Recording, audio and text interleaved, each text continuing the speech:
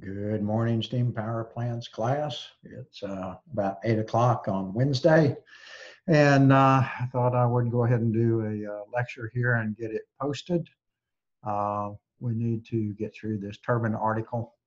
Uh, we'll get that done this week. I'll get this one and then uh, I'll post one more, I don't know, this afternoon or tomorrow, and that will finish up this. And then next week, we're going to head into just two days of uh, kind of review of combustion uh, calculations.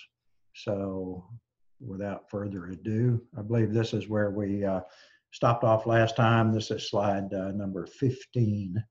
And uh, I will email these slides out. I'm still actually putting this slide presentation together. Uh, I had never done that, so that's why I haven't already emailed it out. But I did email out the uh, document that it's coming from. So you already have uh, complete information on this. Okay, so uh, we're looking at how to operate uh, large steam turbines uh, at a utility, a power plant. And hot warm starts is the topic here. So let's jump into this. Uh, the main objective during warm and hot starts of a turbine generator is to provide steam conditions during starting, which will result in temperatures which will closely match those already existing in the turbine components. so we would like to uh, introduce steam that after it goes through the control valves will basically match closely the existing temperature of the high pressure and intermediate uh, pressure turbine metal. That's, that's the game here. The larger the mismatch of steam to existing metal temperatures, the higher the thermal stresses will be. And the higher the thermal stresses, we get, uh, we initiate cracking uh, sooner and, you know, we're damaging the equipment. Uh, warm starts will generally be experienced following a weekend shutdown. Now, this document kind of assumes that the reason that we're cycling uh, these older fossil units is because nuclear units have become available that operate on a very regular schedule, i.e., you would probably baseload a nuke, which is a big generating unit, typically probably 800 to 1500 megawatts, and then you would pick up the increases in load during certain portions of the day with the fossil units. These days, the cyclic service is even uh, more extreme as we have more and more renewables and the renewable output uh, jumps considerably. Obviously, with solar, you don't get any at night, so that's predictable, and that could lead us into uh, perhaps a weekend shutdown where um, you know load is down all weekend in general, uh, and so the unit goes down for that. Or hot starts, which uh, are which are commonly experienced on units subjected to two shift cyclic or cycling duty, in which the unit shut down overnight and restarted every uh, weekday morning to meet uh, daily system peak load demands. Um, and also, we'll get into just load changes here uh, a little bit later in the presentation. And these fossil units are going to be subjected to all kinds of just continual load changes based, in, based on the operation of renewables. You know, wind comes in gust, wind comes for blows, you know, pretty steady for an hour or two, and then it subsides, and something's got to be there if you're if, if a utility is relying uh, significantly on wind power. When the wind drops there's got to be something there to pick up the generating load. Or we're going to have voltage sags which lead to brownouts and all kinds of bad things. So um, these fossil units they may not be pretty they may be old and uh, they may have some emissions but you you know unless something breaks you can count on them you know, you put in more coal, you get more power. You get more steam, you get more uh, electricity out. Whereas, you know, if, the, if you got a big solar array and you have a, a, very cloudy, overcast day, you just don't get much. Or the sun, you know, comes in and out behind cloud cover uh, as it moves by, you know, the power generation jumps up and down, and we have to be able to uh, uh, account for uh, deficits in generation from renewables by having a hard asset online that can respond quickly. Uh, so such uh, cycling duty operation generally places the highest demands on turbine components and in, indeed the whole unit, but the turbine, because of the thick wall nature of the rotor, uh, is particularly susceptible to this type of uh, damage and cracking. Older uh, fossil boiler turbine units, once base loaded, are relegated to cyclic duty as renewable power generation fluctuates with weather conditions. I think I hit that pretty heavy on the uh, previous slide. Often boiler main and reheat outlet steam temperatures at restart produce steam temperatures uh, in the turbine much colder than the existing turbine metal temperatures leading to thermal cracking in a short period of time. So what we'll see, it's called boiler droop, and we've got a figure here in just a minute that talks about it. But when a boiler is producing, you know, 15, 20, 30% of its rated steam uh, capacity, uh, the temperature of both the main steam and reheat tends to uh, reduce from its you know higher from its design uh, design temperature levels. For example, we may be shooting for a thousand degrees on both the uh, main steam and reheat. And when we're up maybe above 40, 50%, we get that. But when we're down at lower loads, that steam temperature may fall off to, you know, I don't know, 850, 875, 900 uh, on both of those, depending on the particular unit and, you know, the condition of the boilers and all that sort of thing. So that's called droop and it occurs at low steam production rates. Well, if you're trying to match a hot turbine rotor and you can't, you know, say the turbine rotor is 950 and you can't get but, you know, 850 degree steam, that's a 100 degree mismatch, you know, so when that steam hits that rotor, um, it's going to cause thermal stresses. And so that's something the operators have to take into uh, consideration. Uh, various operating procedures may be employed to provide better temperature matching during warm and hot starting. We'll see that depending on the valving uh, configurations and how flexible it is, uh, allowing steam into the high pressure turbine. Uh, we may have some options here to be able to manage these temperatures. Uh, and we'll get into that in uh, a lot of depth and detail here going forward. Uh, the combination of throttle uh, pressure and temperature at the turbine inlet, which produces steam temperatures to match existing internal turbine metal temperature should be provided.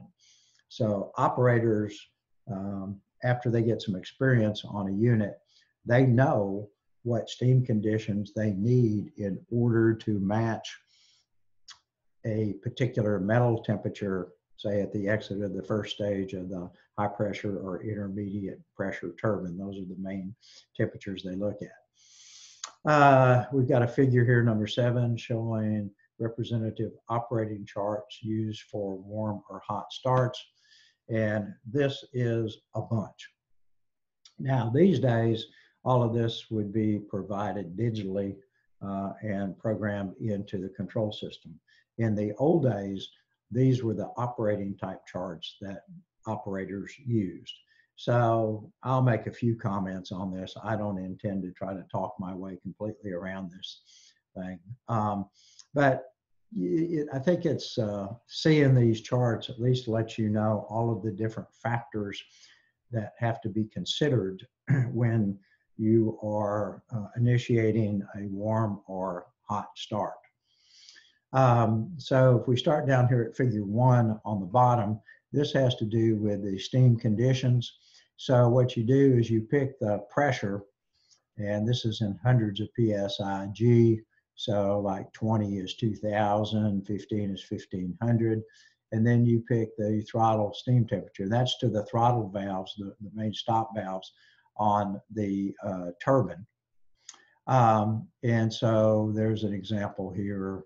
He's got a rolling example, a minimum load example. So let's say we're rolling, let's say this is what, that looks like a thousand and eight hundred. Then you come uh, horizontally over here to figure two. And this shows the first stage steam temperature that's going to result at the exit of the first stage. And it's dependent upon the valve program that we have in the turbine. Now, we, we haven't defined those, and I'm not going to do that on this slide, but it's coming very quickly. Uh, single valve indicates that all of the valves, and see, the, the way steam gets into these turbines, there are probably six or eight valves that control admission to the first stage or it, in, into the first stage of the turbine. Uh, and they each control a different arc or segment of the 360 degrees of arc all the way around the first stage at the inlet. Um, and so if all of these valves operate in unison as if they're one valve, we would be on the single valve line. If, however, those valves are staged, that is called sequential valve operation. And like we may uh, start by admitting steam to, you know, 25% of the arc. So 25% would be what, 90 degrees? And so we might only be admitting steam to 90 degrees of the 360 degrees around the inlet to the first stage. So that would be an example of sequential valve. So we get different temperatures and this, this curve assumes some particular sequential valve uh, operating scenario, which I don't even think it's necessarily uh, called out here uh, in the article. But at any rate, um, we can see that on this uh, on this rolling example, if if I was at a thousand and eight hundred, I come over here, that's going to result in what about 680 as far as the first stage steam temperature if I'm on single valve. If I was on sequential valve, I would come on over here to about 600. So there's 80 degrees of difference roughly in the steam at the exit of the first stage. Um, so we will follow this up, and say it's a, a single valve operation. This figure three gives you the mismatch.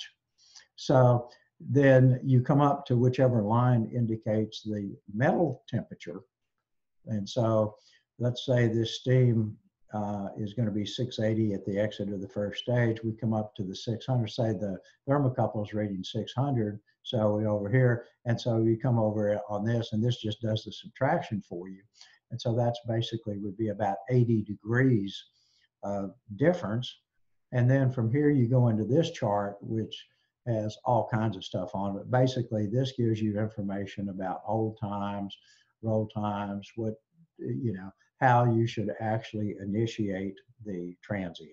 And I'm not going to try to get into that here. But this is the type of information that goes into determining uh, how long a particular transient uh, it should take to initiate a particular or a particular uh, warm or a hot start.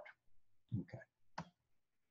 All right, let's uh, define more about steam temperature droop. Um, the effect of the boiler main steam and reheat steam temperature droop characteristics in the low load range must be considered during warm and hot starting. These temperature characteristics are felt directly by the turbine and the amount of droop is greater for constant design pressure compared to sliding pressure operation. Okay, so let's get to the curves. So the dotted lines are for the main steam and the solid lines are for the reheat steam. So let's look at the main steam first. We have two different uh, sets of curves, at least at the low load condition. One is called variable pressure. Now, some boilers have the ability to what they call slide or vary pressure based on uh, the amount of steam that they're producing. And so uh, now this, this doesn't show the pressure, this shows the uh, temperature. But if we have variable pressure or sliding pressure, operation. Sorry, mouses. Uh, then we see that when we first uh, fire this thing off and start getting any steam out, this is showing that it's going to be about 900 degrees. And that's going to ramp up. And let's say that we're shooting for our main steam temperature is 1,000. Well, we have to get up to 25% boiler load, 25% of the rated steam production before we can get to 1,000. So um, if we have a turbine that's cool or hot or whatever, then we have to take this characteristic of the boiler and the, and the steam temperature that's going to be available to us into consideration when we start thinking about these warm and hot starts. Okay. Now, if we had a fixed pressure boiler, which I think the majority are, uh, but nonetheless, so we would see that its initial steam temperature is going to be about 850, and that's going to remain constant uh, up until we get, uh, well, that's about halfway in between, so that's 11, 12%. And then that uh, steam temperature will ramp up with the steam flow until we hit about 50%. So we don't get to a thousand degree steam until we're at 50% steam generation or higher. Beyond that, they're both constant and maintained at a thousand. Well, again, this is what's called droop. So it's the it's the lower temperature steam is the best the boiler can do at lower steam production rates. And then these curves, the solid curves are for the reheat steam. And we see initially they take off together about 850 and then the variable pressure uh, comes up quicker, which can well be an advantage. Uh, and so at 50% uh, steam production, we get it up to its rated amount, which could be 950 or 1,000, whatever.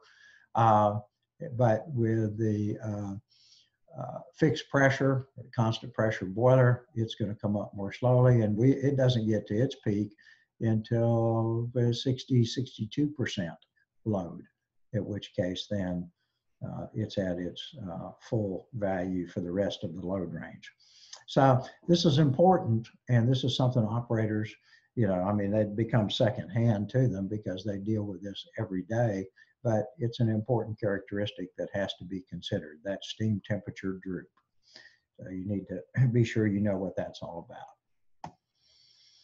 Okay, some more notes uh, from the article. Uh, often the desired higher throttle temperature cannot be obtained until higher flows exist in the boiler.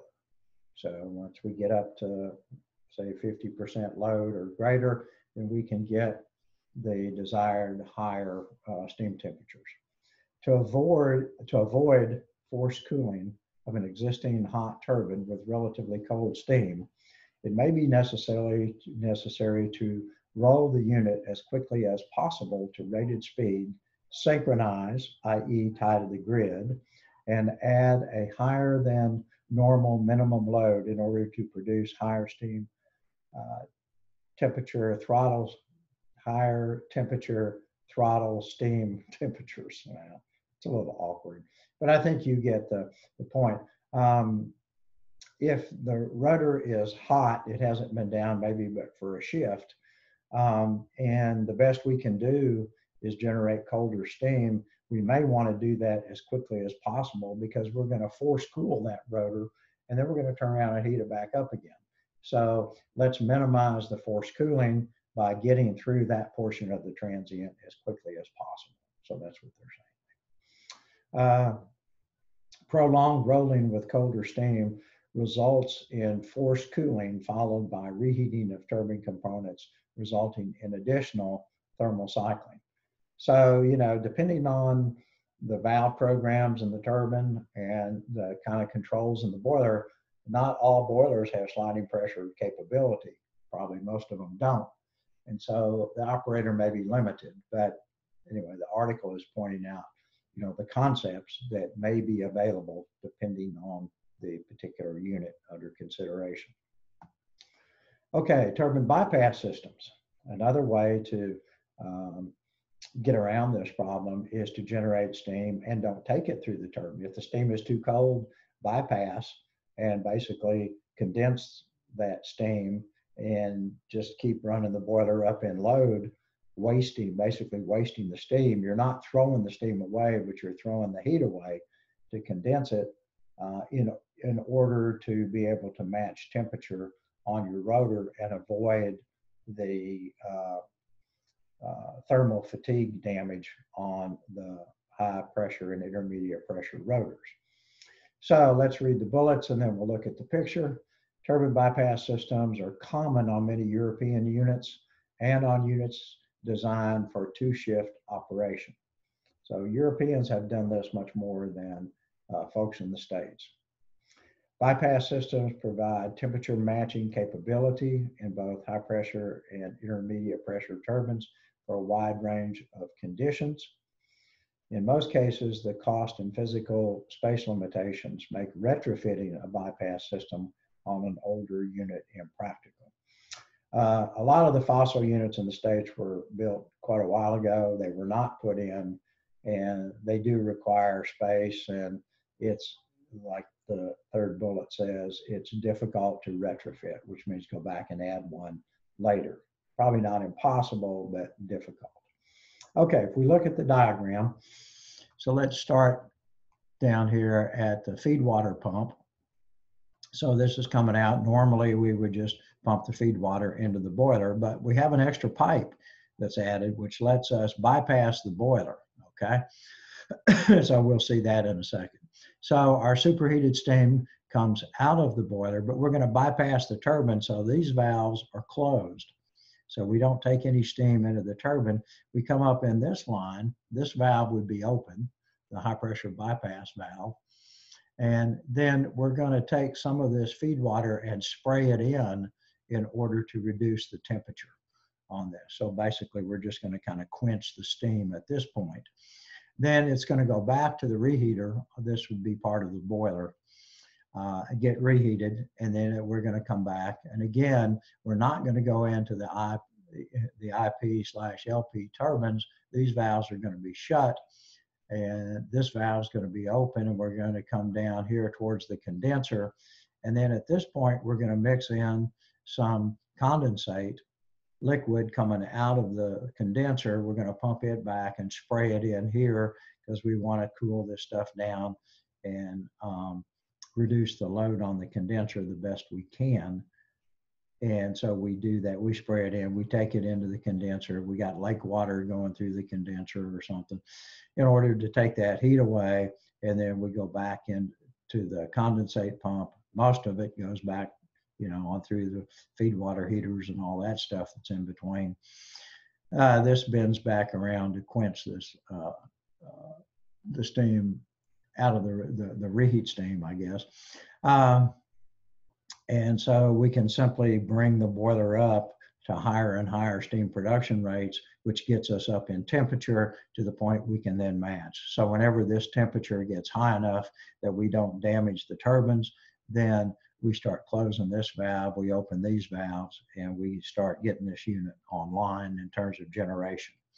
So that's what a turbine bypass system is about. And again, you don't see many of these in the States, uh, much more so in Europe.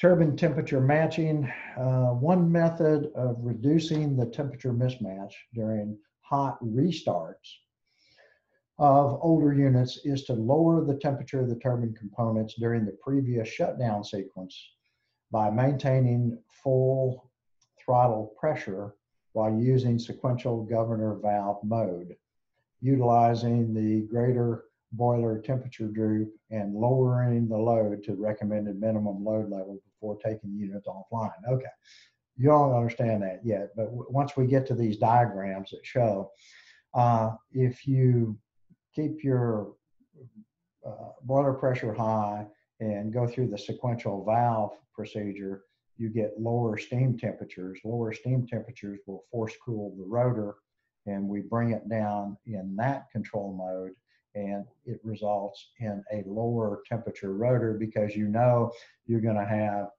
a, a, quick restart on this thing and you know what temperature you can get out of your boiler. And so by force cooling the rotor a little bit on the previous shutdown, you set it up to make the next startup easier. These are things that operators learn and it becomes second nature to them. Okay, let's look at load changing. Load changes, now previously we were looking at warm and hot starts. That's from, you know, offline with different temperatures of rotors. Now this is just load changing. Load changes are accompanied by changes in blade pass steam temperature. Thermal stresses are developed in the rotor, which depend on both the magnitude and rate of change of the load. So if it's a small change, if you're going from, you know, 60% to 70%, that's not a huge, a 10% change in load is not huge. That could probably be done pretty quickly without with minimal upset and thermal transients in the rotors. If you're going from 25% to 100%, that's a huge change, and you're going to have to be much more careful. You've got a much bigger temperature change for the rotor, and you're going to have to manage that change over the appropriate length of time in order to not do excessive damage. Uh, there, there's no single rate of change can be applied uniformly to all turbine operations if the objective is to limit uh, the stress levels uh, to a level corresponding to a selected fatigue capacity. So we'll see, we have some curves coming and the curves basically give um, the number of cycles to expected cracking on the rotor. And so then you pick which curve you want to operate on. It could be a thousand, it could be 10,000, it could be, you know, 5,000 and that gives you some kind of a guideline in terms of how severe can the thermal stress cycle be in order to stay within that desired lifetime before cracking. So that's kind of where this is going. Uh, small load changes can be performed uh, instantaneously when followed by a stabilization period without exceeding the limitation, whereas large changes must be performed less rapidly. So that kind of restates what I just said. Okay, load changing. Uh, more on load changing. The greatest variation of steam temperature over the load range occurs at the first stage of the high pressure turbine. So that is our number one control point. First stage steam temperature changes with both throttle temperature and load. So we know throttle temperatures are going to change uh, based on uh, the amount of steam the boiler is producing.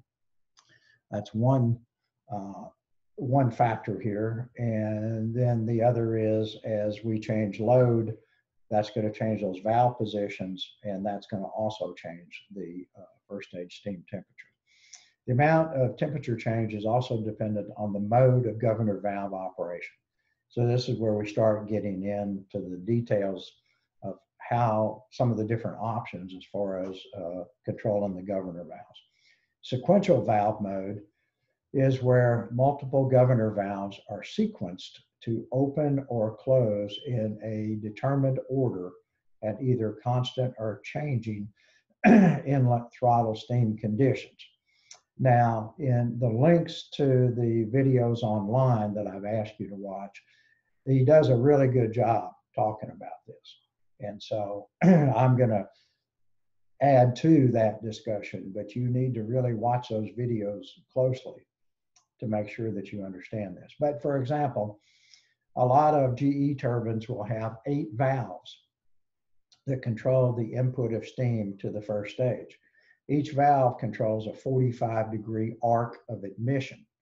And so, you know, you've got what 360 degrees of arc if each valve is 45 degrees, 8 times 45 is 360. And so that's how you can control not only the amount of steam, but which arc is active around the circumference of, or circumferentially on that first stage.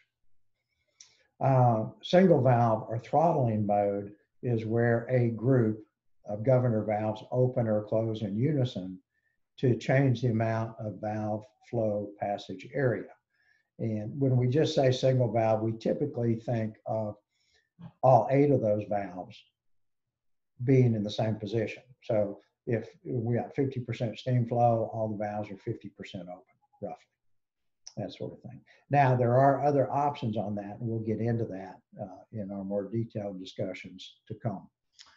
Sliding pressure mode uh, where is where a group of governor valves are fully open or maintained at a constant partially open position, while the inlet throttle pressure, uh, that should say is instead of is changed to vary the main steam flow to the turbine. I'll have to change that. That's a typo. Um, just the, kind of the generic case, we consider, you know, like full full-blown uh, sliding pressure operation, the valves, all eight of them may be wide open and we simply control the steam flow into the high pressure turbine by, in, by sliding the boiler pressure up or down.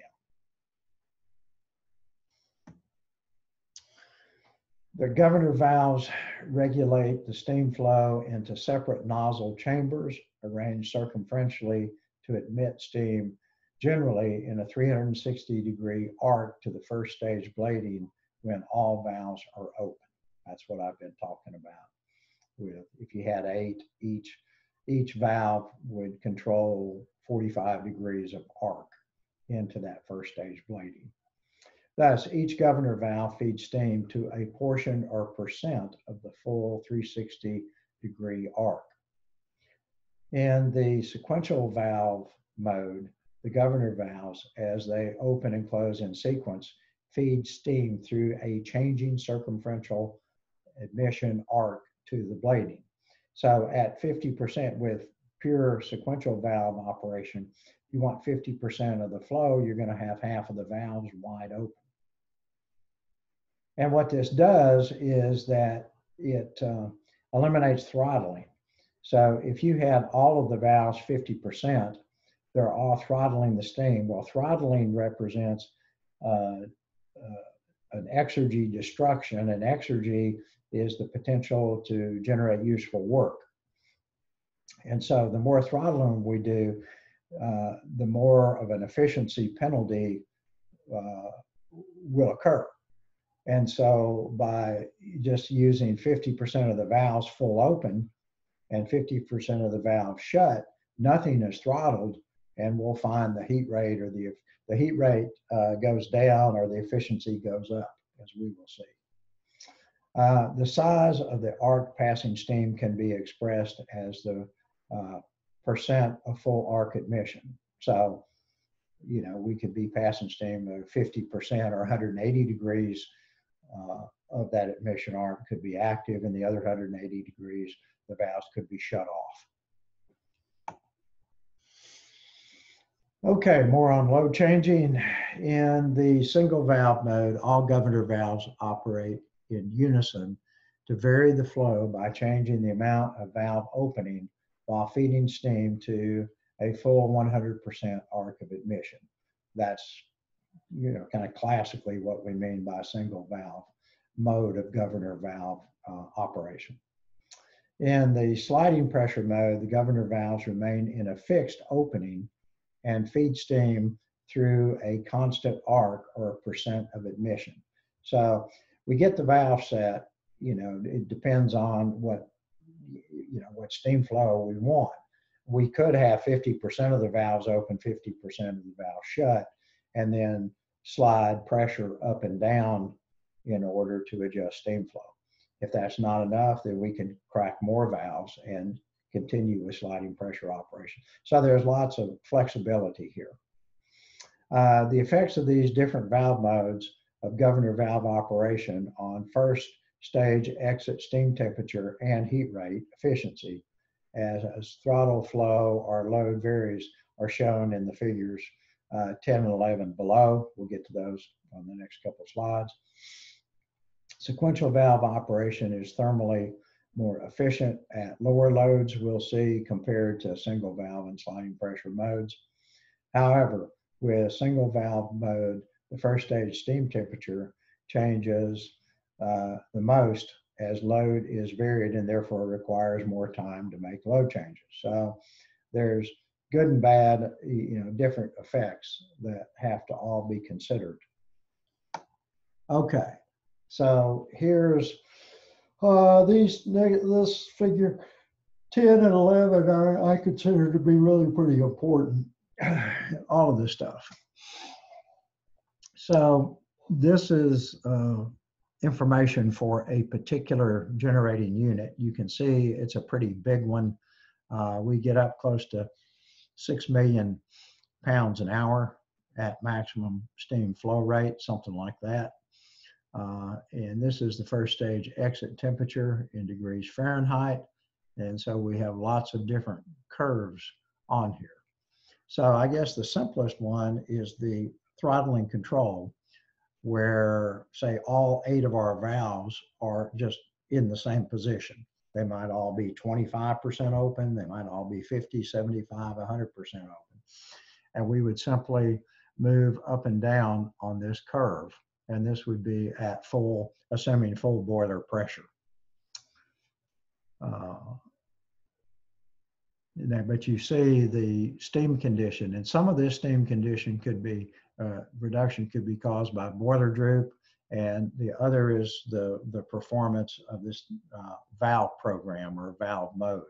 But we see down here, um, this is if this is six million, this is what one and a half. So I don't know, one and a half. I guess that's 25 percent or so steam flow uh, on this scale, roughly. And so you can see we're getting steam temperatures down here between one, uh, 830 and 840.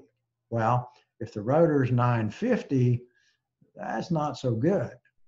You know, if the rotor's cold, then, you know, maybe that's not so bad. But, you know, it depends. And so if you have the capability to change from one valve program to the next, um, you can impact this steam temperature exit of the first stage and manage it to more closely match your metal temperature. So that's kind of the game here. Okay, then we have, this is constant pressure sequential valve. And so that's this solid curve. And what we're showing here is these are additional valves opening, and this is what's called the valve loop. So this portion of the curve is um, uh, we're taking half of the valves, I guess. They're not showing the valve loops on this. So they may be operating together um, or they could be individual. I guess they're still individual. They just don't bother showing the valve loops on them. But so we sequentially open valves. We come up here. This is uh, 50%. And then we open one more valve. We go to 62.5%. We open one more valve. We go to 75%. And this is showing the last two together. Uh, they might go individually, or I guess they could go together. It just depends on how that particular turbine is set up. But you see, so in general, the solid line is just kind of, they've kind of smoothed out these, even though there are these little bumps along the way, uh, they kind of smoothed out the uh, performance. And so you see uh, at initial startup, at the minimum uh, throttle flow that they show, uh, we're 770, whereas at uh, constant pressure throttling control, we're 830. So what is it? That's 60 degrees difference in steam temperature. If you have a cold rotor, uh, you can do a better job matching by going to sequential valve at constant, you know, full boiler pressure and compared to throttling control, if you have that capability.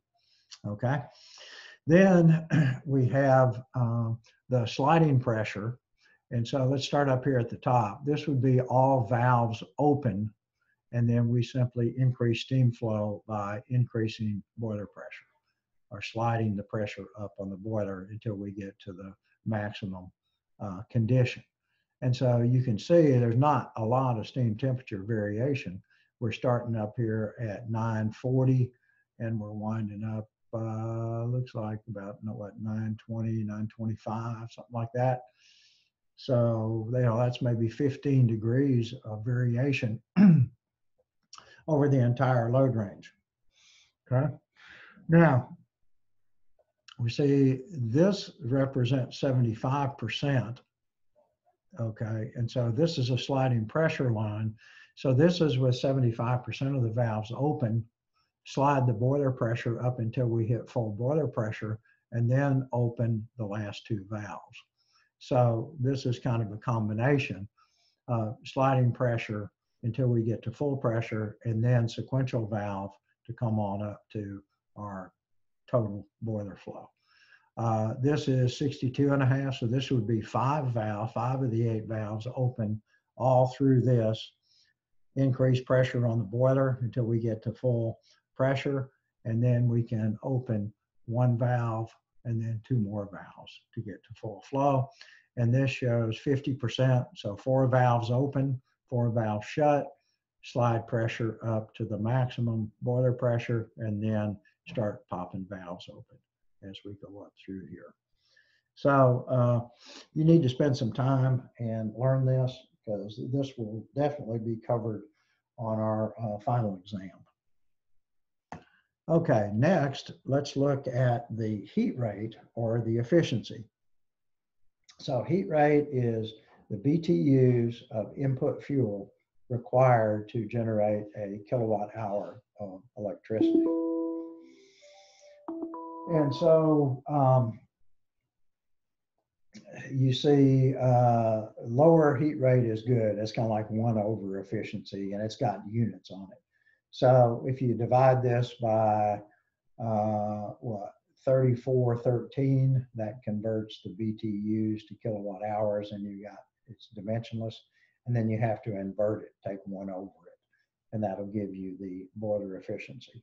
So for example, let's just do that. If you take, oh, let's just take 8,600, 8,600 divided by 3413, that's 2.52. And if I take one over that, that's uh, 39.7% would be the efficiency.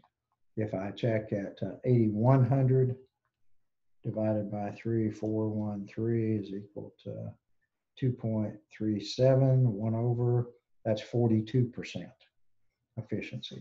Now, this is not the entire unit efficiency because units are not that. At Kingston, their overall heat rate um, is probably 10,000, 10 to 11,000 right now. But you can uh, include different things in heat rate. You can include auxiliaries, you can include fans, and that sort of thing. So this could just be boiler fuel and uh, turbine output without other uh, parasitic loads being considered. But you notice, so uh, what's the worst? The worst, the, the, the highest of, uh, uh, heat rate is the lowest efficiency. So the worst one is constant pressure throttling control. Well, because we know this throttling uh, destroys the ability to do useful work. And so it's the worst that we've got. Okay.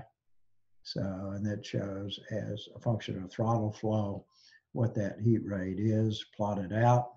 Of course, they all come together here at the, at the, the full load uh, condition. We also see the steam flow here. It looks like it's about 6.2 million pounds an hour uh, maximum. okay, sliding pressure, all the valves open and just simply increase pressure uh, at the boiler. And that's the next worst because this is this throttling is going on uh, a lot of it at the boiler instead of just at the turbine. So there's still throttling involved here. Um, let's see here. So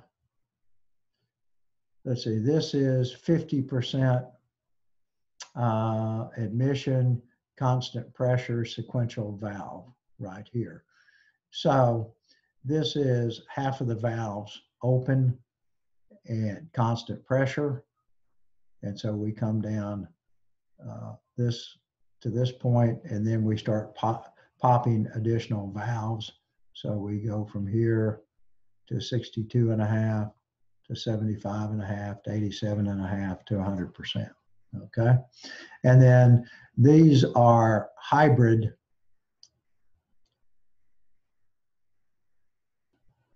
type uh, situations. Let me see. I take I take that back. Uh, this this the, the sequential valve by itself is this solid curve here. I'm sorry. This is the 50% uh, of the valves, and then we pop one, two, three, four valves open. This is sliding pressure. These with dashed lines are what they call hybrid. Sorry, I got that uh, it's easy to get confused on this one, but this is hybrid with 50%. This is hybrid with 62.5%. This is hybrid with 75% admission.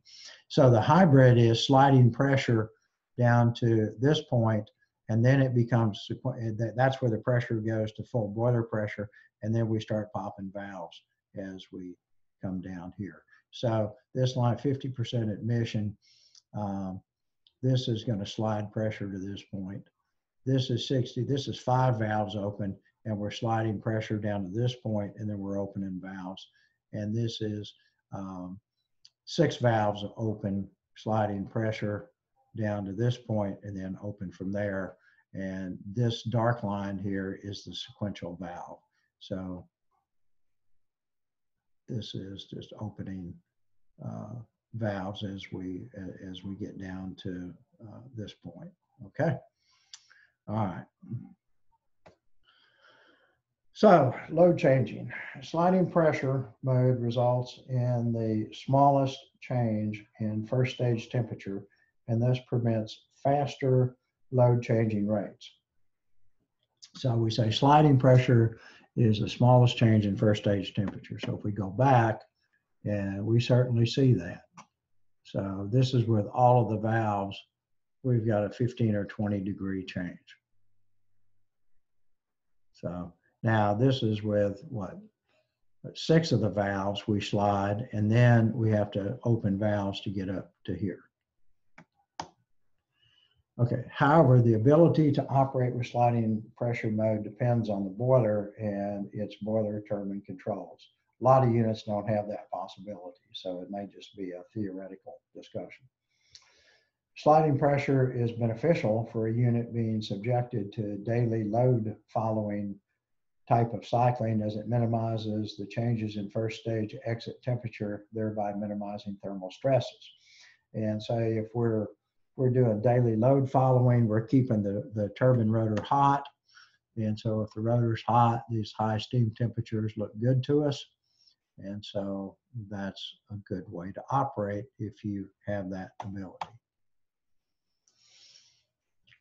Um, load following cycling is when high or full load is carried during the peak demand period, and then the unit's kept online carrying low loads during off peak. So, you know, you just basically, uh, when the load goes up, this is the, this would be the unit that picks up the increase, whereas the other units stay kind of base loaded.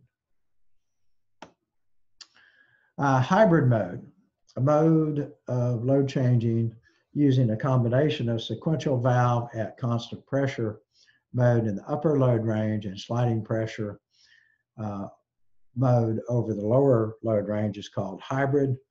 Hybrid mode is of great benefit for load following uh, cycling operation as it provides optimum thermal efficiency while operating at low loads and results in first temperature, first stage temperature changes which are less than those experienced using either sequential valve mode at constant throttle pressure or single valve at constant pressure. Uh, using hybrid operation with sliding pressure at low loads with 50% of the valves open, followed by sequential valve at full boiler pressure from 50 to 100% load is recommended. And so um, this is thought to be probably the, the best heat rate, the best uh, uh,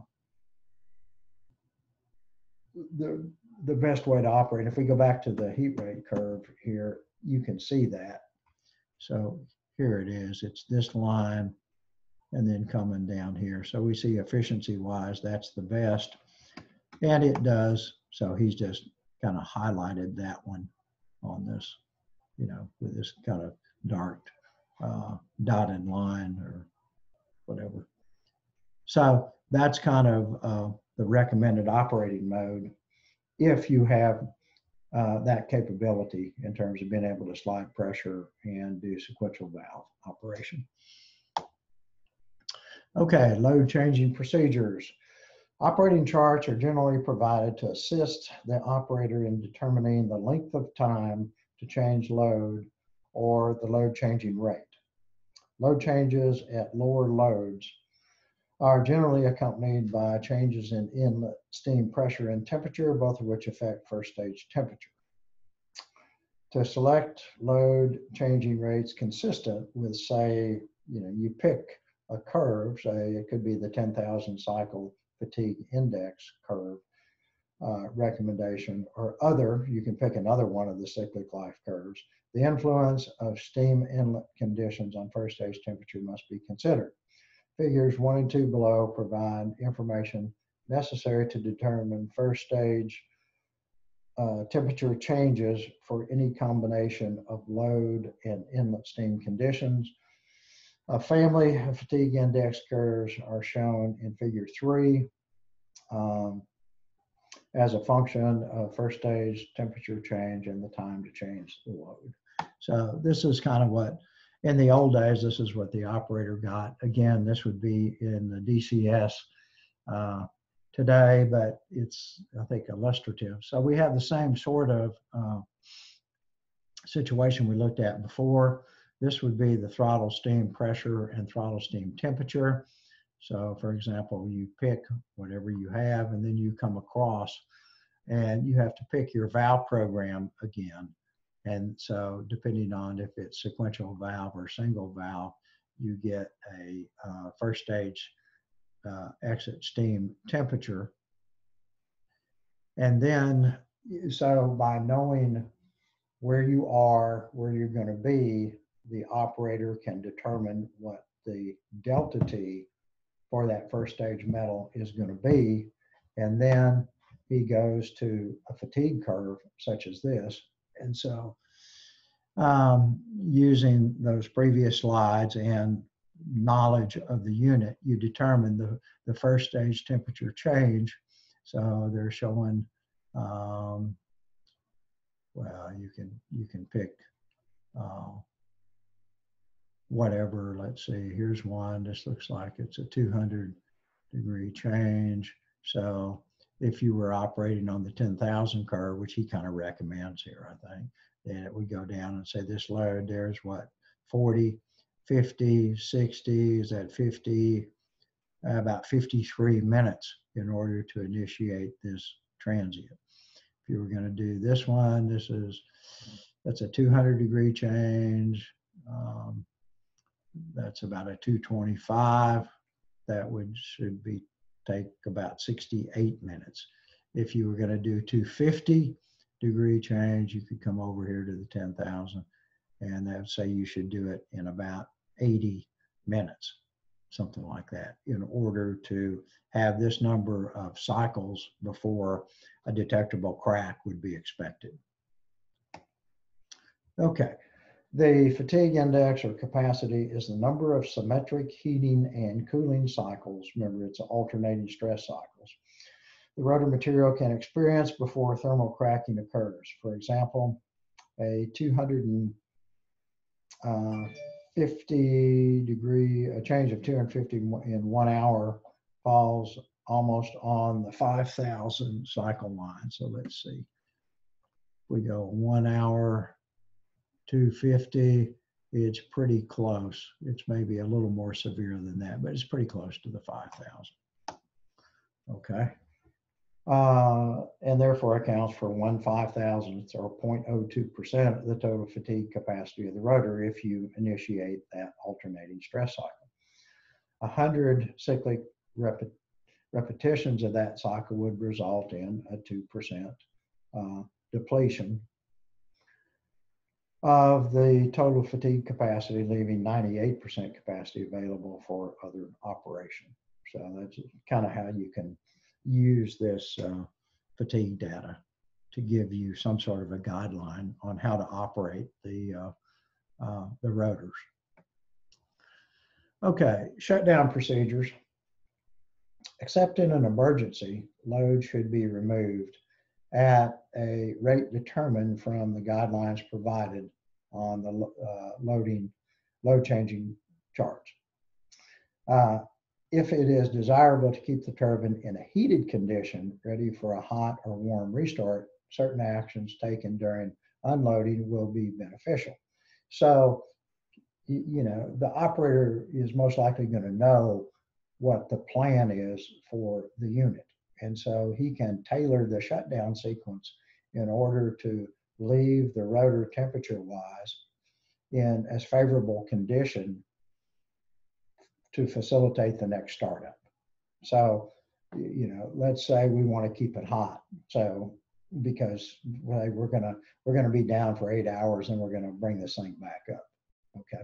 So if the unit has sliding pressure capabilities, lowering the throttle pressure to lower the load will result in higher temperatures in the first stage areas, along with minimizing both main steam and reheat steam drooping. So if you go back to, gotta go back a little bit.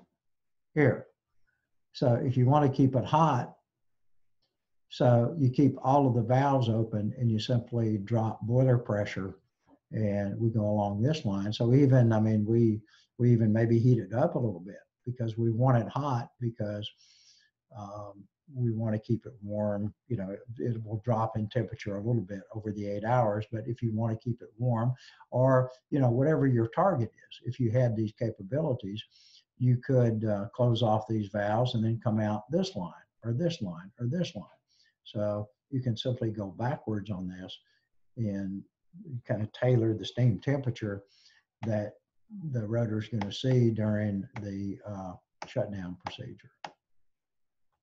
Whoops, one more. There we go.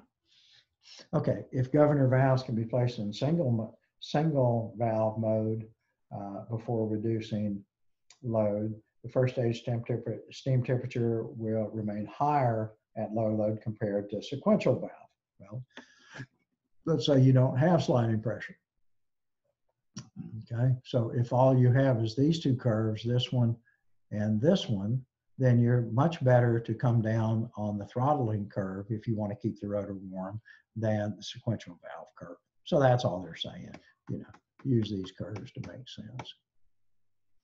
Uh, and another possibility is uh, tripping the unit from a high load will also keep the unit at high temperature as steam flows abruptly stop and the insulated unit cools uh, slowly.